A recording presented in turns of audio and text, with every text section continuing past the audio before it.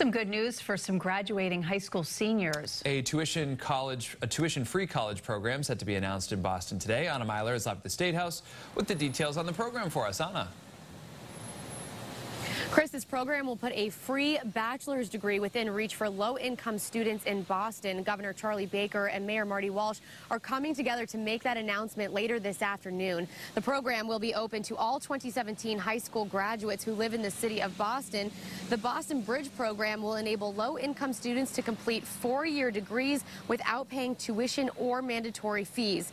The Commonwealth and the city of Boston will cover the costs, and federal Pell Grants will also be taken into account Governor Baker says the high cost of a college education prevents students from even seeking a degree, and he wants to create more opportunities for more people to earn a quality education. Reporting live from the State House, Anna Meiler, WBZ This Morning.